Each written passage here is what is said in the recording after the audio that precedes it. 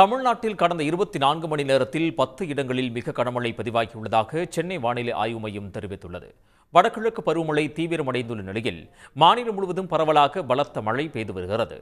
ராமநாதபுரம் மாவட்டத்தில் தேனிக்கரை அரண்மனை அச்சுந்தன் வயல்பட்டினம் காத்தான் உள்ளிட்ட இடங்களில் காலை முதலே விட்டுவிட்டு மழை பெய்கிறது இதேபோன்று ராமேஸ்வரம் பாம்பன் உள்ளிட்ட பகுதிகளிலும் மழை பெய்து வருவதால் குளிர்ச்சியான சூழல் நிலவுகிறது நாமக்கல் மாவட்டத்தில் பள்ளிப்பாளையம் திருச்செங்கோடு குமாரபாளையம் உள்ளிட்ட பகுதிகளில் கனமழை வெளுத்து வாங்கியது இதனிடையே தமிழ்நாட்டில் கடந்த இருபத்தி நான்கு மணி நேரத்தில் பத்து இடங்களில் மிக கனமழை பொழிந்துள்ளது அதிகபட்சமாக கன்னியாகுமரி கொட்டாரத்தில் பதினாறு சென்டிமீட்டர் மழை பொழிந்துள்ளது நீலகிரி மாவட்டம் கீழ்கொத்தகிரி குன்னூர் ஆலக்கரை எஸ்டேட் கன்னியாகுமரி நீலகிரி அடர்லி எஸ்டேட் பகுதியில் தலா பதிமூன்று சென்டிமீட்டரும் சோத்துப்பாறை பரளியாறு பில்லிமலை எஸ்டேட் பகுதிகளில் தலா பனிரெண்டு சென்டிமீட்டரும் மழை பதிவாகியுள்ளது